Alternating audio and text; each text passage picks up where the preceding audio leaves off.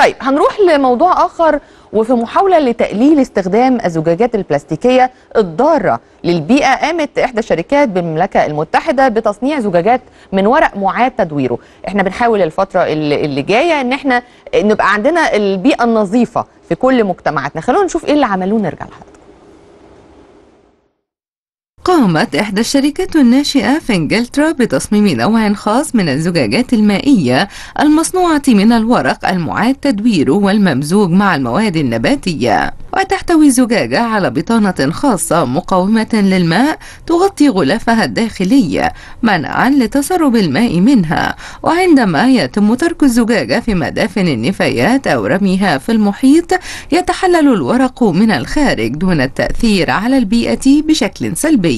وتتميز هذه الزجاجة بأناقة شكلها وقدرتها على حفظ الماء لعدة أشهر كما تعود أرباح الشركة إلى المؤسسات الخيرية في إفريقيا. وتأمل الشركة المصنعة أن يكون إنتاج هذه الزجاجات المائية بداية نهاية لتصنيع الزجاجات البلاستيكية وتعميم الفكرة على جميع العبوات المصنعة من البلاستيك.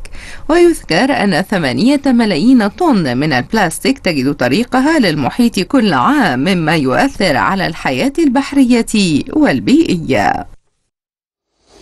يعني كل يوم بنكتشف أضرار للبلاستيك فكرة جديدة جدا ومختلفة إزاز من ورق. يتم تدويره مرة آه، تانية. أعتقد آه، يعني الزجاجات دي صديقة جدا للبيئة. وهتحافظ كمان على البيئة الرقم كبير 8 مليون طن مخلفات من البلاستيك بتضر طبعا بالبيئة في مختلف أنحاء العالم. صحيح عايزة بس أقول حاجة على القصة دي. يعني عادة إحنا كنا بنسيب دايما إزازة كده في عربيتنا نشرب منها. ممكن تقعد بالأسبوع. ده خطر غلط. كبير جدا جدا. فخلوا بالكم من الموضوع ده لأن الإزاز أو الزجاجات بلاستيك. البلاستيك مع الشمس مع المية بيح يعني ممكن يبقى فيه تسمم بعد. الشر كان معانا ف- دكتور هادي الناظر آه، مم. ال- الدكتور طبعا رئيس المركز القومي للبحوث قبل كده في حوار الأسبوع اللي فات يا أميرة قال النقطة دي بالظبط آه. قال ما حدش يحط إزازة مية بلاستيك في العربية ويسيبها يوم ويشرب يوم تاني صحيح. يعني الشمس آه، بيحصل تفاعلات كده آه، في البلاستيك مع المية. بتضر بتضر الصحة صحيح. جدا